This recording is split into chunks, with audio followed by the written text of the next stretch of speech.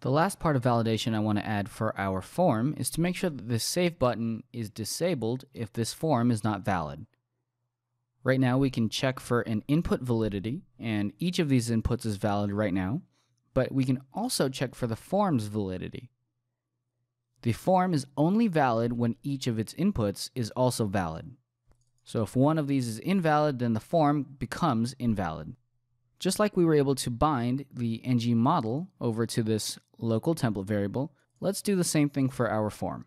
We're going to create a form template variable, and we'll bind it to ng form.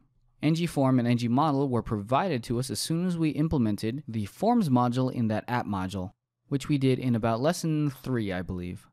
Now that we have access to this form, let's take a look at some of the parts of the form. We're going to go form valid and this will tell us if the form is valid or not.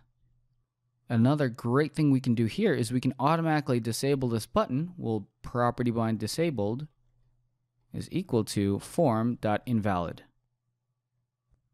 Let's go take a look. Is the form valid? True right now. Let's delete everything. And now our form is not valid. This button is no longer able to be clicked. So really easy way to bind our overall form and make sure that it is valid before we can submit it. This is a lot better than having to go do all of these different validation checks as soon as somebody submits the form. We already know that by submitting the form, it is valid. If we go into our template class and delete these, so now our user object is just a couple blanks. We can go take a look. Our form is not valid anymore our button is not clickable.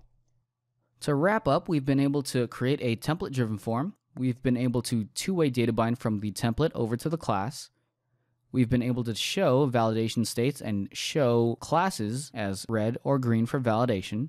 We've also been able to disable the overall form if the overall form is not valid. This about wraps up what we're going to do with template-driven forms. We'll be moving forward after this to model-driven forms, which are also known as reactive forms.